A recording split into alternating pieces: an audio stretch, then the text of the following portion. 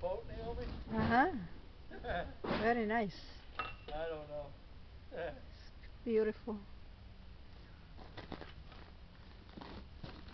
It's come out very nice.